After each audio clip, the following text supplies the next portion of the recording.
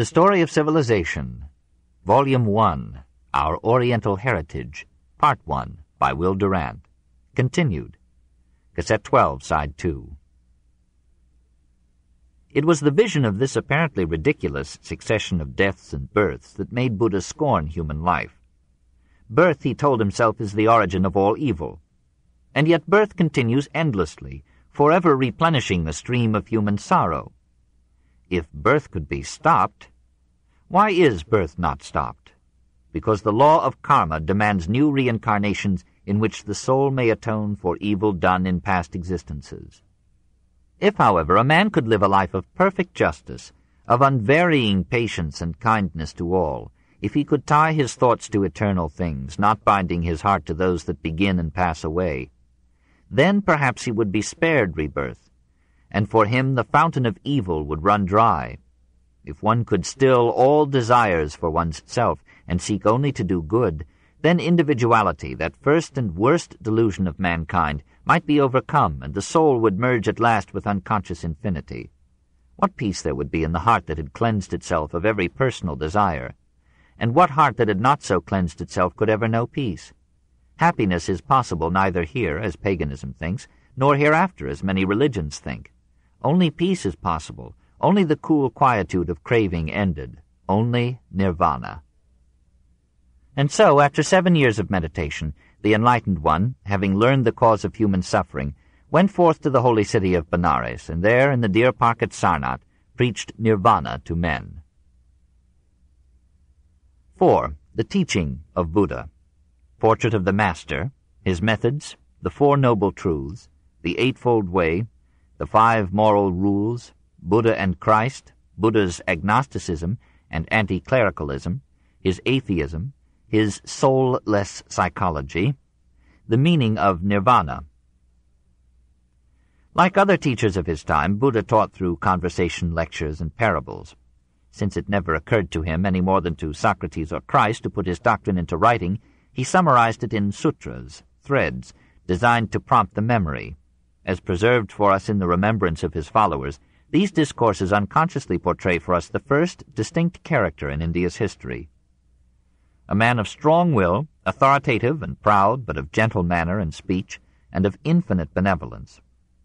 He claimed enlightenment, but not inspiration. He never pretended that a god was speaking through him. In controversy, he was more patient and considerate than any other of the great teachers of mankind. His disciples, perhaps idealizing him, represented him as fully practicing ahimsa. Putting away the killing of living things, Gautama the recluse holds aloof from the destruction of life. He, once a Kshatriya warrior, has laid the cudgel and the sword aside, and ashamed of roughness and full of mercy, he dwells compassionate and kind to all creatures that have life. Putting away slander, Gautama holds himself aloof from calumny.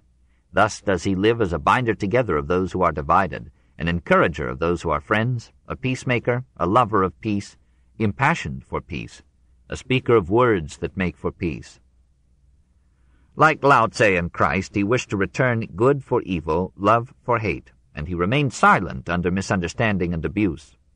If a man foolishly does me wrong, I will return to him the protection of my ungrudging love. The more evil comes from him, the more good shall come from me. When a simpleton abused him, Buddha listened in silence, but when the man had finished, Buddha asked him, Son, if a man declined to accept a present made to him, to whom would it belong? The man answered, To him who offered it. My son, said Buddha, I decline to accept your abuse and request you to keep it for yourself. Unlike most saints, Buddha had a sense of humor and knew that metaphysics without laughter is immodesty. His method of teaching was unique, though it owed something to the wanderers or traveling sophists of his time. He walked from town to town, accompanied by his favorite disciples, and followed by as many as twelve hundred devotees. He took no thought for the morrow, but was content to be fed by some local admirer. Once he scandalized his followers by eating in the home of a courtesan. He stopped at the outskirts of a village and pitched camp in some garden or wood or on some river bank. The afternoon he gave to meditation, the evening to instruction. His discourses took the form of Socratic questioning, moral parables, courteous controversy, or succinct formulas whereby he sought to compress his teaching into convenient brevity and order. His favorite sutra was The Four Noble Truths, in which he expounded his view that life is pain, that pain is due to desire, and that wisdom lies in stilling all desire. 1. Now this, O monks, is the noble truth of pain. Birth is painful, sickness is painful, old age is painful. Sorrow, lamentation, dejection, and despair are painful. 2. Now this, O monks, is the noble truth of the cause of pain. That craving which leads to rebirth, combined with pleasure and lust, finding pleasure here and there, namely the craving for passion, the craving for existence, the craving for non-existence. 3. Now this, O monks, is the noble truth of the cessation of pain, the cessation without a remainder of that craving, abandonment, forsaking, release, non-attachment. 4. Now this, O monks, is the noble truth of the way that leads to the cessation of pain. This is the noble eightfold way, namely, right views, right intention, right speech, right action, right living, right effort, right mindfulness, right concentration. Buddha was convinced that pain so overbalanced pleasure in human life that it would be better never to have been born. More tears have flowed, he tells us, than all the water that is in the four great oceans. Every pleasure seemed poisoned for him by its brevity. Is that which is impermanent sorrow or joy? he asks one of his disciples, and the answer is sorrow, Lord. The basic evil, then, is tanha, not all desire, but selfish desire, desire directed to the advantage of the part rather than to the good of the whole. Above all, sexual desire, for that leads to reproduction, which stretches out the chain of life into new suffering aimlessly. One of his disciples concluded that Buddha would approve of suicide, but Buddha reproved him. Suicide would be useless, since the soul, unpurified, would be reborn in other incarnations until it achieved complete forgetfulness of self. When his disciples asked him to define more clearly his conception of right living, he formulated for their guidance five moral rules, commandments, simple and brief, but perhaps more comprehensive and harder to keep than the Decalogue. 1. Let not one kill any living being. 2. Let not one take what is not given to him. 3. Let not one speak falsely. 4. Let not one drink intoxicating drinks. 5. Let not one be unchaste. Elsewhere, Buddha introduced elements into his teaching strangely anticipatory of Christ. Let a man overcome anger by kindness, evil by good. Victory breeds hatred, for the conquered is unhappy. Never in the world does hatred cease by hatred. Hatred ceases by love. Like Jesus, he was uncomfortable in the presence of women and hesitated long before admitting them into the Buddhist order. His favorite disciple, Ananda, once asked him, How are we to conduct ourselves, Lord, with regards to womankind? As not seeing them, Ananda. But if we should see them, what are we to do? No talking, Ananda. But if they should speak to us, Lord, what are we to do? Keep wide awake, Ananda. His conception of religion was purely ethical. He cared everything about conduct, nothing about ritual or worship, metaphysics or theology. When a Brahmin proposed to purify himself of his sins by bathing at Gaya, Buddha said to him, Have thy bath here, even here, O Brahmin. Be kind to all beings. If thou speakest not false, if thou killest not life, if thou takest not what is not given to thee, secure in self-denial, what wouldst thou gain by going to Gaya? Any water is Gaya to thee. There is nothing stranger in the history of religion than the sight of Buddha founding a worldwide religion and yet refusing to be drawn into any discussion about eternity, immortality, or God. The infinite is a myth, he says, a fiction of philosophers who have not the modesty to confess that an atom can never understand the cosmos. He smiles at the debate over the finity or infinity of the universe, quite as if he foresaw the futile astro-mythology of physicists and mathematicians who debate the same question today.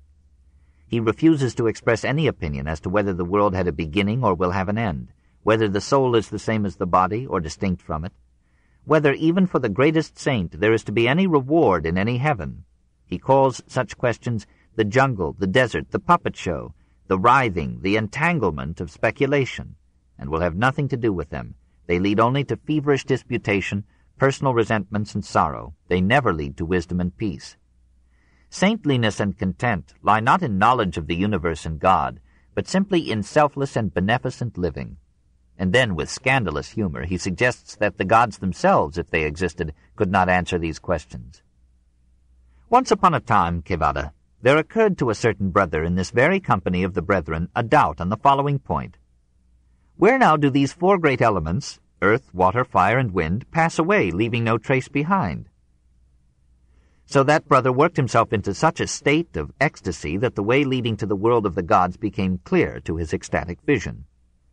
Then that brother, Kevaddha, went up to the realm of the four great kings and said to the gods thereof, Where, my friends, do the four great elements, earth, water, fire, and wind, cease, leaving no trace behind? And when he had thus spoken, the gods in the heaven of the four great kings said to him, We, brother, do not know that. But there are the four great kings, more potent and more glorious than we. They will know it. Then that brother Kevaddha went to the four great kings, and put the same question, and was sent on by a similar reply to the thirty-three, who sent him on to their king Sakka, who sent him on to the Yama gods, who sent him on to their king Suyama, who sent him on to the Tusita gods, who sent him on to their king Santusita, who sent him on to the Nimmanarati gods, who sent him on to their king Sunimmita, who sent him on to the Paranimmita Vasavatti gods, who sent him on to their king, Vasavatti, who sent him on to the gods of the Brahma world. Then that brother, Kevaddha, became so absorbed by self-concentration that the way to the Brahma world became clear to his mind, thus pacified. And he drew near to the gods of the retinue of Brahma and said, Where, my friends, do the four great elements, earth, water, fire, and wind, cease, leaving no trace behind? And when he had thus spoken, the gods of the retinue of Brahma replied, We, brother, do not know that. But there is Brahma, the great Brahma, the Supreme One, the Mighty One, the All-Seeing One, the Ruler, the Lord of all, the Controller, the Creator, the Chief of all, the Ancient of Days, the Father of all that are and are to be. He is more potent and more glorious than we. He will know it. Where then is that great Brahma now?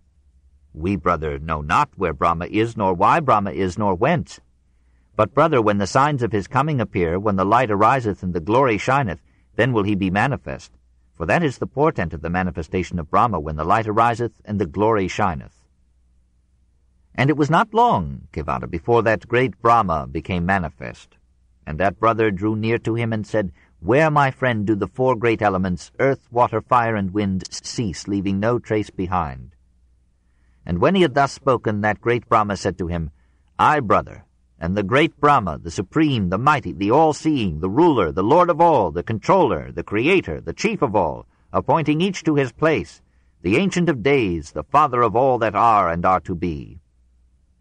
Then that brother answered Brahma and said, I did not ask you, friend, as to whether you were indeed all that you now say, but I ask you where the four great elements, earth, water, fire, and wind, cease, leaving no trace behind. Then again, Kevaddha, Brahma gave the same reply, and that brother yet a third time put to Brahma his question as before. Then, Kevaddha, the great Brahma took that brother and led him aside and said, These gods, the retinue of Brahma, hold me, brother, to be such that there is nothing I cannot see, nothing I have not understood, nothing I have not realized. Therefore I gave no answer in their presence. I do not know, brother, where those four great elements, earth, water, fire, and wind, cease, leaving no trace behind. When some students remind him that the Brahmins claim to know the solutions of these problems, he laughs them off. There are, brethren, some recluses and Brahmins who wriggle like eels, and when a question is put to them on this or that, they resort to equivocation, to eel-wriggling. If ever he is sharp, it is against the priests of his time. He scorns their assumption that the Vedas were inspired by the gods, and he scandalizes the caste-proud Brahmins by accepting into his order the members of any caste. He does not explicitly condemn the caste system, but he tells his disciples plainly enough, Go into all lands and preach this gospel. Tell them that the poor and the lowly, the rich and the high are all one, and that all castes unite in this religion as do the rivers in the sea. He denounces the notion of sacrificing to the gods, and looks with horror upon the slaughter of animals for these rites. He rejects all cult and worship of supernatural beings, all mantras and incantations, all asceticism and all prayer. Quietly and without controversy, he offers a religion absolutely free of dogma and priestcraft, and proclaims a way of salvation open to infidels and believers alike. At times this most famous of Hindu saints passes from agnosticism to outright atheism. He does not go out of his way to deny deity, and occasionally he speaks as if Brahma were a reality rather than an ideal nor does he forbid the popular worship of the gods. But he smiles at the notion of sending up prayers to the unknowable. It is foolish, he says, to suppose that another can cause us happiness or misery. These are always the product of our own behavior and our own desires. He refuses to rest his moral code upon supernatural sanctions of any kind. He offers no heaven, no purgatory, and no hell. He is too sensitive to the suffering and killing involved in the biological process to suppose that they have been consciously willed by a personal divinity. These cosmic blunders, he thinks, outweigh the evidences of design.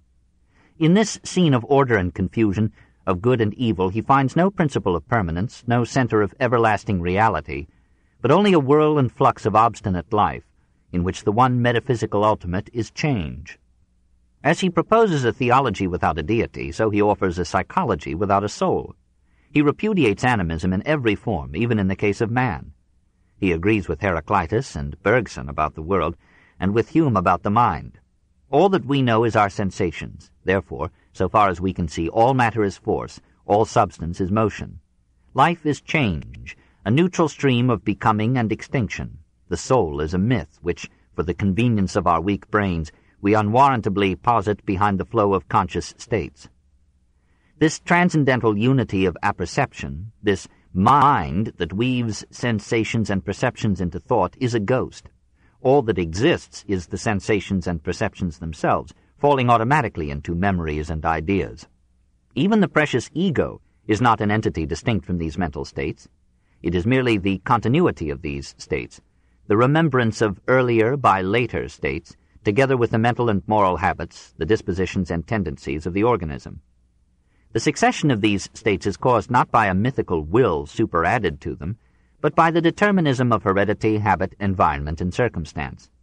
This fluid mind that is only mental states, this soul or ego that is only a character or prejudice formed by helpless inheritance and transient experience, can have no immortality in any sense that implies the continuance of the individual.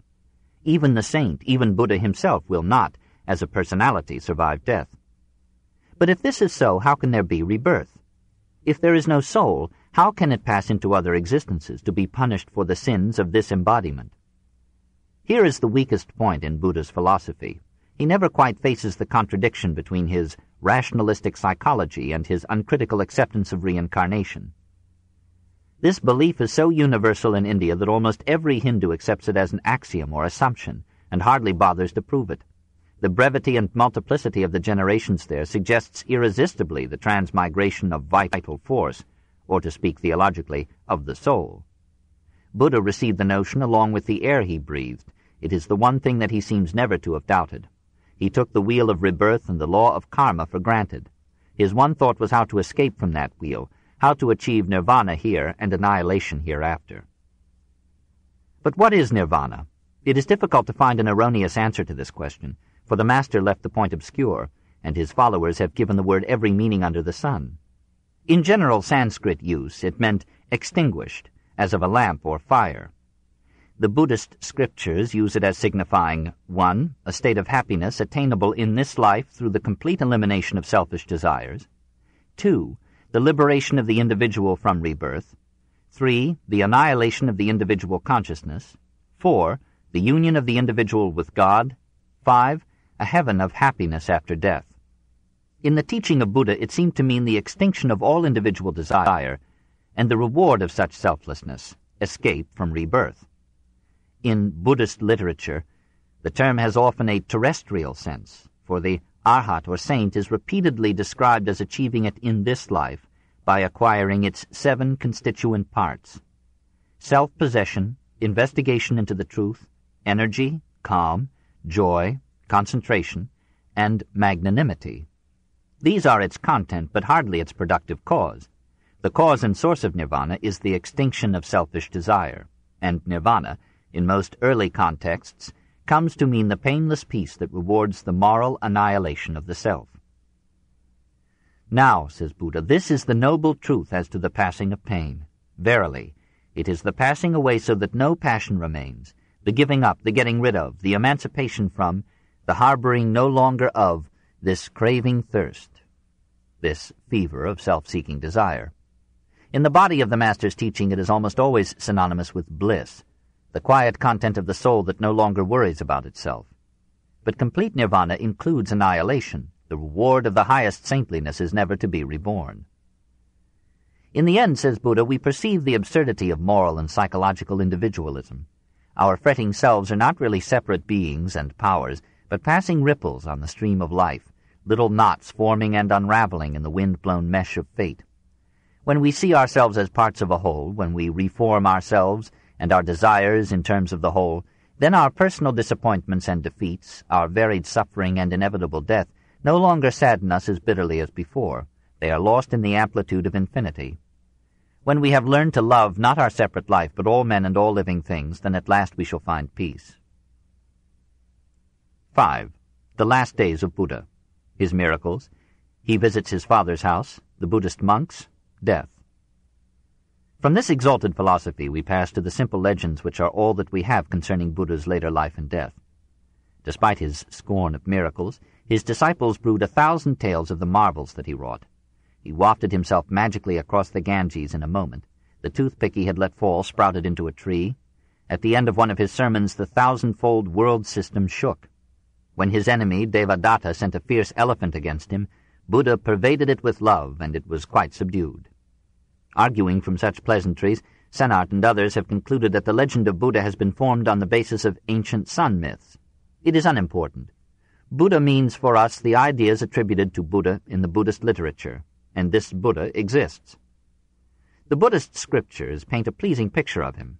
Many disciples gathered around him, and his fame as a sage spread through the cities of northern India. When his father heard that Buddha was near Kapilavastu, he sent a messenger to him with an invitation to come and spend a day in his boyhood home. He went, and his father, who had mourned the loss of a prince, rejoiced, for a while, over the return of a saint. Buddha's wife, who had been faithful to him during all their separation, fell down before him clasped his ankles, placed his feet above her head, and reverenced him as a god. Then King Shuddhodana told Buddha of her great love. Lord, my daughter-in-law, when she heard that you were wearing yellow robes as a monk, put on yellow robes. When she heard of your having one meal a day, herself took one meal. When she knew that you had given up a large bed, she lay on a narrow couch. And when she knew that you had given up garlands and scents, she gave them up. Buddha blessed her and went his way. But now his son Rahula came to him and also loved him. Pleasant is your shadow, ascetic, he said. Though Rahula's mother had hoped to see the youth made king, the master accepted him into the Buddhist order. Then another prince, Nanda, was called to be consecrated as heir apparent to the throne, but Nanda, as if in a trance, left the ceremony unfinished, abandoned the kingdom, and going to Buddha, asked that he too might be permitted to join the order. When King Shuddhodana heard of this, he was sad and asked a boon of Buddha. When the Lord abandoned the world, he said, it was no small pain to me. So when Nanda went, and even more so with Rahula. The love of a son cuts through the skin, through the hide, the flesh, the sinew, the marrow.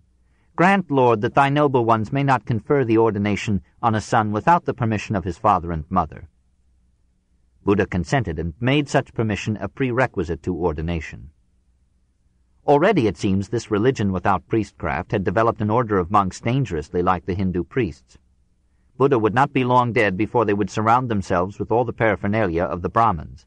Indeed, it was from the ranks of the Brahmins that the first converts came, and then from the richest youth of Benares and the neighboring towns.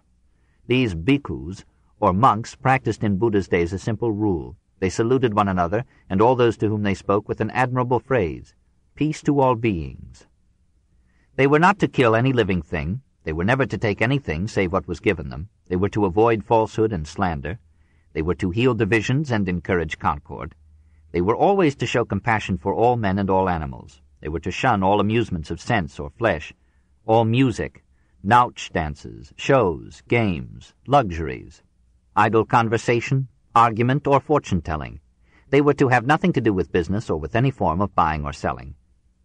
Above all, they were to abandon incontinence and live apart from women in perfect chastity.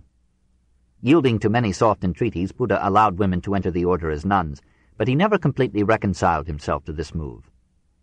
If, Ananda, he said, women had not received permission to enter the order, the pure religion would have lasted long, the good law would, have stood fast a thousand years. But since they have received that permission, it will now stand fast for only five hundred years. He was right.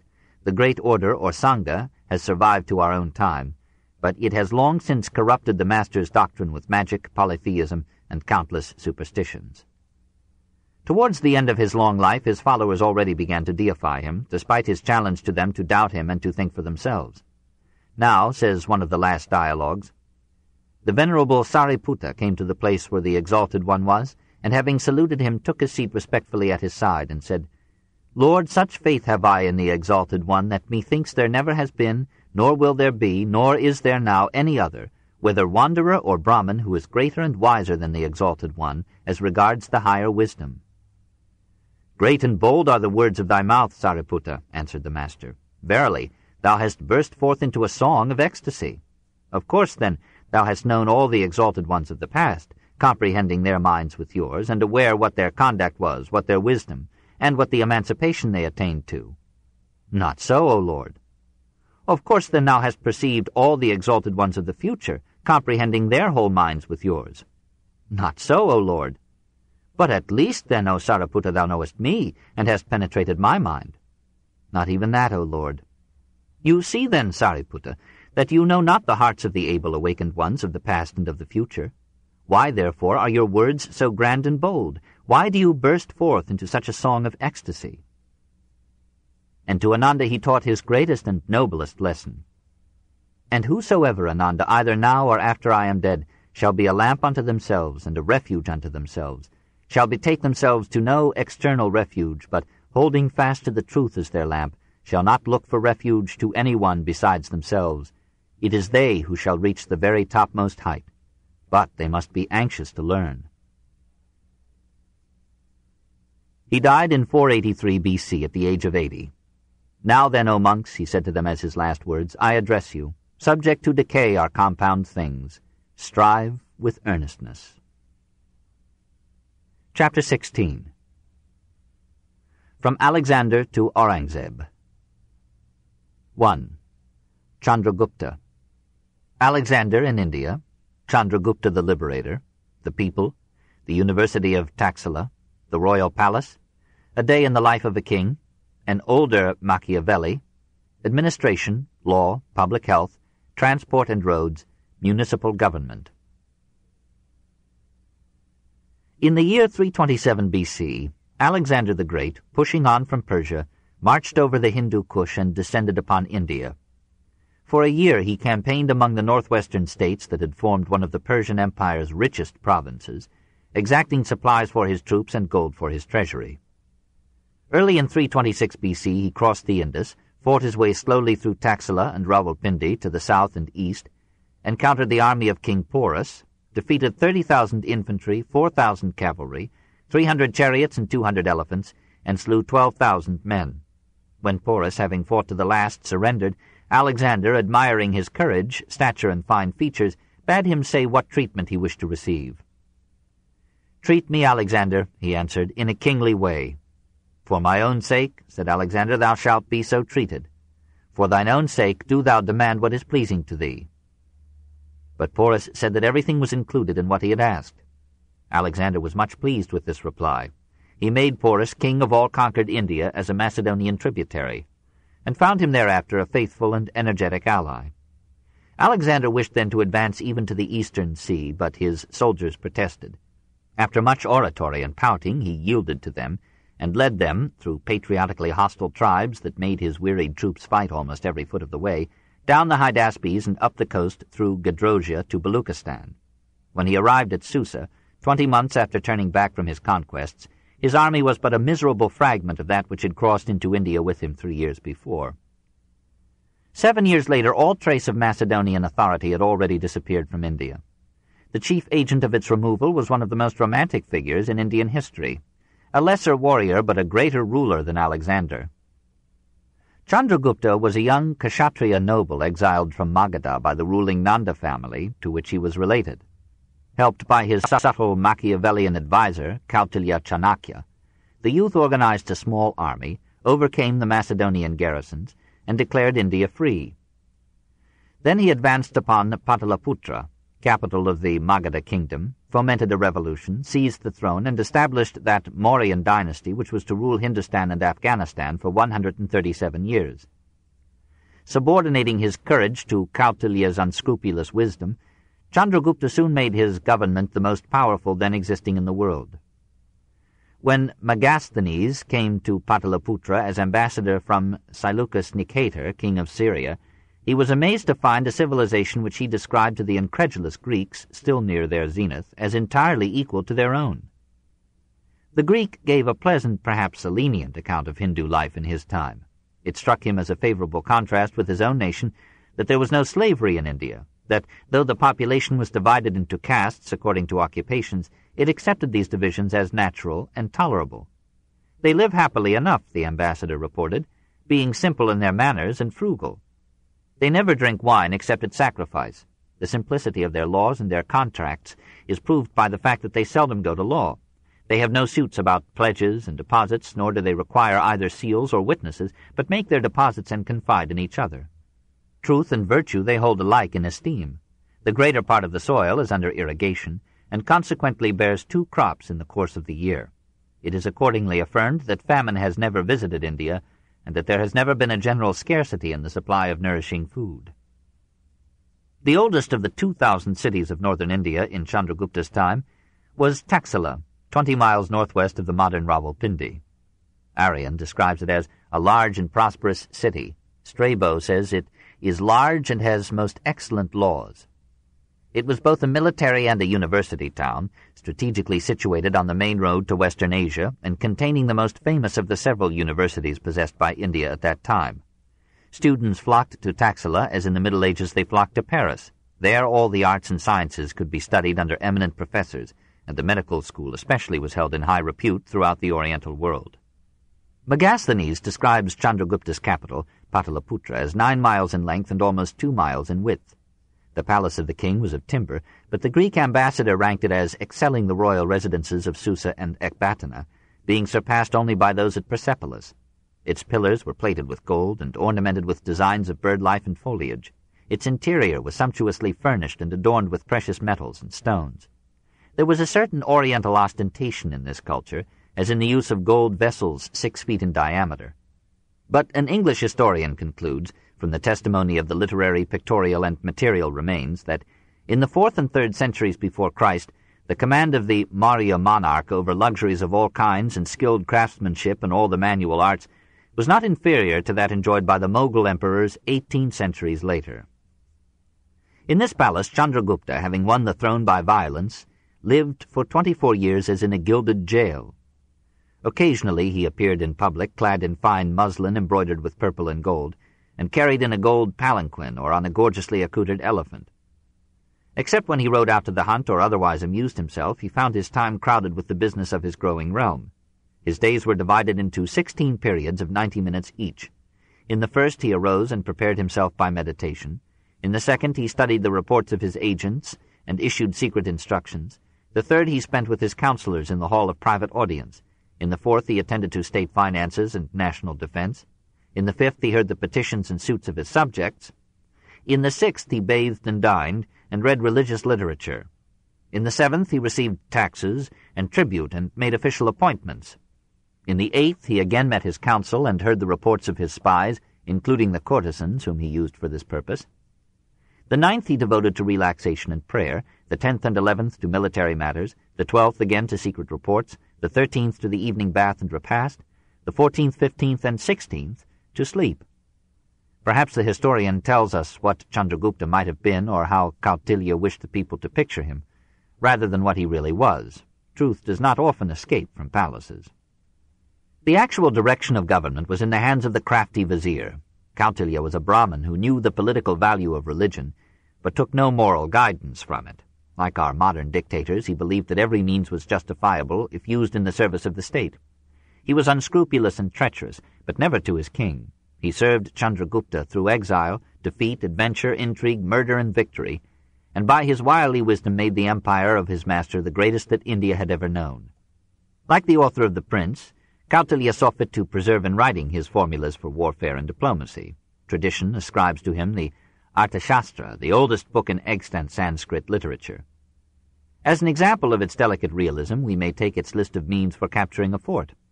Intrigue, spies, winning over the enemy's people, siege, and assault. a wise economy of physical effort.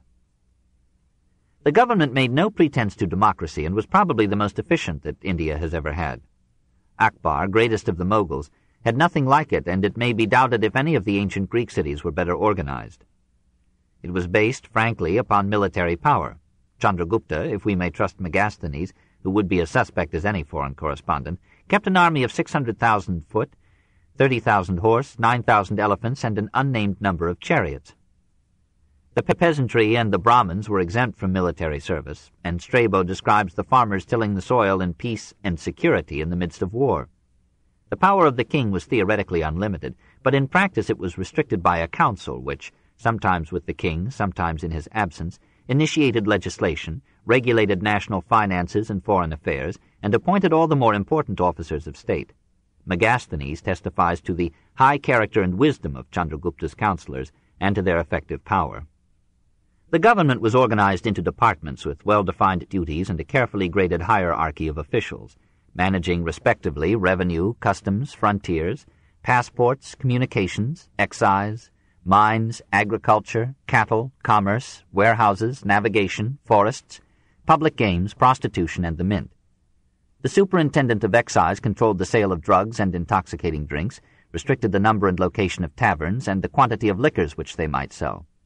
The superintendent of mines leased mining areas to private persons, who paid a fixed rent and a share of the profits to the government. A similar system applied to agriculture, for all the land was owned by the state. The superintendent of public games supervised the gambling halls, supplied dice, charged a fee for their use, and gathered in for the treasury five per cent of all money taken in by the bank. The superintendent of prostitution looked after public women, controlled their charges and expenditures, appropriated their earnings for two days of each month, and kept two of them in the royal palace for entertainment and intelligence service. Taxes fell upon every profession, occupation, and industry and in addition rich men were from time to time persuaded to make benevolences to the king. The government regulated prices and periodically assayed weights and measures. It carried on some manufactures in state factories, sold vegetables, and kept a monopoly of mines, salt timber, fine fabrics, horses, and elephants. Law was administered in the village by local headmen or by panchayats, village councils of five men. In towns, districts, and provinces, by inferior and superior courts, at the capital by the royal council as a supreme court, and by the king as a court of last appeal. Penalties were severe and included mutilation, torture, and death, usually on the principle of lex talionis or equivalent retaliation. But the government was no mere engine of repression. It attended to sanitation and public health, maintained hospitals and poor relief stations, distributed in famine years the food kept in state warehouses for such emergencies, forced the rich to contribute to the assistance of the destitute, and organized great public works to care for the unemployed in depression years. The Department of Navigation regulated water transport and protected travelers on rivers and seas. It maintained bridges and harbors and provided government ferries in addition to those that were privately managed and owned. An admirable arrangement whereby public competition could check private plunder, and private competition could discourage official extravagance. The Department of Communications built and repaired roads throughout the empire, from the narrow wagon tracks of the villages to trade routes 32 feet, and royal roads 64 feet wide. One of these imperial highways extended 1,200 miles from Pataliputra to the northwestern frontier, a distance equal to half the transcontinental spread of the United States. At approximately every mile, says Megasthenes, these roads were marked with pillars indicating directions and distances to various destinations. Shade trees, wells, police stations, and hotels were provided at regular intervals along the route. Transport was by chariots, palanquins, bullock carts, horses, camels, elephants, asses, and men. Elephants were a luxury usually confined to royalty and officialdom, and so highly valued that a woman's virtue was thought a moderate price to pay for one of them. The same method of departmental administration was applied to the government of the cities. Pataliputra was ruled by a commission of thirty men, divided into six groups. One group regulated industry, another supervised strangers, assigning to them lodgings and attendance and watching their movements. Another kept a record of births and deaths. Another licensed merchants, regulated the sale of produce, and tested measures and weights. Another controlled the sale of manufactured articles. Another collected a tax of 10% on all sales. In short, says Havell, Pataliputra in the 4th century BC seems to have been a thoroughly well-organized city and administered according to the best principles of social science. The perfection of the arrangements thus indicated, says Vincent Smith, is astonishing, even when exhibited in outline. Examination of the departmental details increases our wonder that such an organization could have been planned and efficiently operated in India in 300 BC. The one defect of this government was autocracy, and therefore continual dependence upon force and spies. Like every autocrat, Chandragupta held his power precariously, always fearing revolt and assassination. Every night he used a different bedroom, and always he was surrounded by guards. Hindu tradition, accepted by European historians, tells how, when a long famine, Pace Megasthenes, came upon his kingdom, Chandragupta, in despair at his helplessness, abdicated his throne, lived for twelve years thereafter as a Jain ascetic, and then starved himself to death. All things considered, said Voltaire, the life of a gondolier is preferable to that of a doge, but I believe the difference is so trifling that it is not worth the trouble of examining. 2. The Philosopher King Ashoka, the Edict of Tolerance, Ashoka's missionaries, his failure, his success. Chandragupta's successor, Bindusara, was apparently a man of some intellectual inclination. He is said to have asked Antiochus, king of Syria, to make him a present of a Greek philosopher. For a real Greek philosopher, wrote Bindusara, he would pay a high price. The proposal could not be complied with, since Antiochus found no philosophers for sale, but chance atoned by giving Bindusara a philosopher for his son. Ashoka Vardhana mounted the throne in 273 BC. He found himself ruler of a vaster empire than any Indian monarch before him. Afghanistan, Baluchistan, and all of modern India but the extreme south, Tamilakam, or Tamil land. For a time he governed in the spirit of his grandfather Chandragupta, cruelly but well. Yuan Chuang, a Chinese traveler who spent many years in India in the 7th century A.D., tells us that the prison maintained by Ashoka north of the capital was still remembered in Hindu tradition as Ashoka's hell. There, said his informants, all the tortures of any orthodox inferno had been used in the punishment of criminals, to which the king added an edict that no one who entered that dungeon should ever come out of it alive. But one day a Buddhist saint, imprisoned there without cause, and flung into a cauldron of hot water, refused to boil. The jailer sent word to Ashoka, who came, saw, and marveled. When the king turned to leave, the jailer reminded him that according to his own edict he must not leave the prison alive. The king admitted the force of the remark and ordered the jailer to be thrown into the cauldron. On returning to his palace, Ashoka, we are told, underwent a profound conversion. This book is continued on cassette 13, side 1.